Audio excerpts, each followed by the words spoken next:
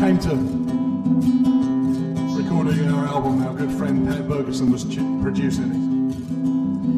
He said, "You guys need to do a good cheesy one." Ended up being our favourite one on the whole album. Album. Good fun to play.